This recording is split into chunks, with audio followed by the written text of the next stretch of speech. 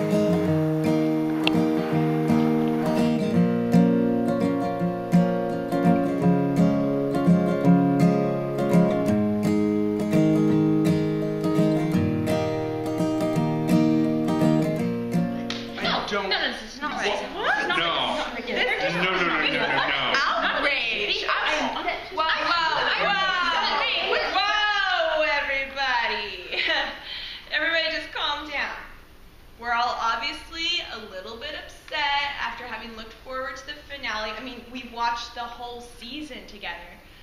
But from your reaction, obviously you're not very happy with how it turned out. Well, problem starts at the very beginning. Now you see, the fairy girl went about her business all wrong if she truly wanted Lanval to keep quiet about their dalliance. She spoiled him. She gave him many tender kisses and embraces. She fed him the richest of foods, and she supplied him with an endless wealth and the promise of her company whenever he desired it. She gave not the slightest indication of being capable of following through on her threats should he tell anyone about her. So of course he betrayed her confidence so easily. If she truly wished for Lanval to keep his silence, she should have made sure he truly understood what his punishment would be for sharing their secret, long before he ever left her silken tents. Get on with it. This isn't your prologue, woman. She should have broken the sweet moments with angry threats so that he understood his place in their relationship. Instead of promising him that she would come to him in the blink of an eye, should he ever wish it, she should have told him that she would summon him. She should have planned to leave him longing for her presence, and when he had suffered enough to humble himself, she would bring him to her presence and allow him to join her company. The only way Lanval could have truly believed he would suffer should he fail to keep his promise would be if the fairy girl had given him a taste of that suffering during their brief moments together. He needed to genuinely fear the consequences of his actions in order to keep her warning in front of his mind at all times. No, no, no. See, the problem with this show was that the fairy was a woman. I mean, as I've heard from my dearest of friends, women are taxing creatures. They nag. They demand unreasonable promises that they know a man can't keep, but they want those promises anyway. And then, when the inevitable happens, they get angry. Picture, if you will. If the fairy were a man, well, that would be different. Men understand each other. They wouldn't expect such unreasonable promises. You're gay? Down. Surely, Jerome, since you don't like women either, you get me. He likes virgins. Now wait a minute. Jerome, no one wants to hear it. Marescalco, you spent all your days in a barn. Let the true love expert handle this. The problem lies in Lanval's character. The roles are reversed. If Lanval was a worthy lover, he would have wooed her, not the other way around. He was undeserving of the fairy, and she lowered her standards, which I advise women never to do. In the end, the fairy never should have come back for Lanval. A man who cannot keep his promises is not worthy of marital bliss. But they weren't even married. That's besides. Now, here's the point of which I can concur. A secret love is the only love that can occur.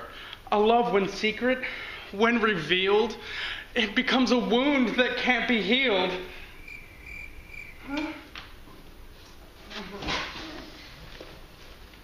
So that was interesting.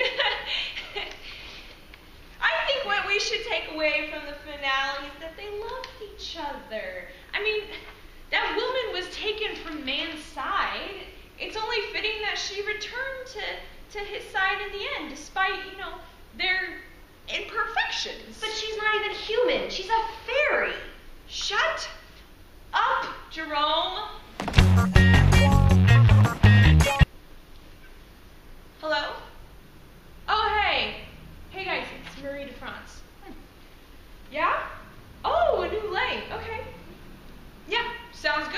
Right over. So Marie's written a new lay. It's called Equitan. She thinks we'll really like it. She wants us to come hear it at Thirsty Mind. What do you guys say? Do yeah. Okay, let's, let's do it. I mean, I'm excited.